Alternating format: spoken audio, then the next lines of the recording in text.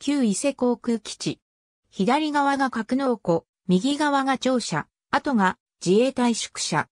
伊勢航空基地とは、陸上自衛隊明けの駐屯地の自衛隊職員宿舎裏に、ハンガーとヘリポートを保有した海上保安庁の航空基地と称されている施設。第4管区海上保安本部の所管であったが2008年に閉鎖。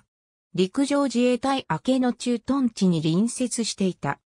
海上保安庁は1966年度から3カ年計画で第8管区海上保安本部舞鶴航空基地を伊勢に移転する計画を進め、1968年10月1日に舞鶴航空基地を閉鎖し、伊勢航空基地を開設した。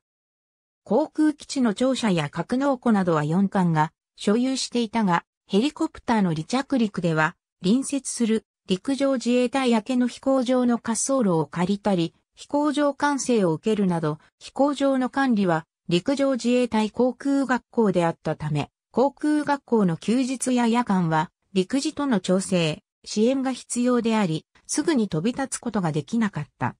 また飛行場の滑走路も短いため、ヘリコプター以外の応援機は離着陸できなかった。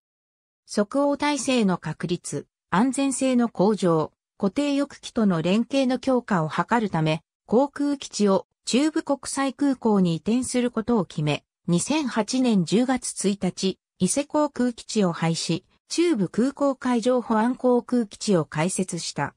所属機の愛称は1991年に付けられた。ベル式212型の愛称、神高については公募で選ばれた。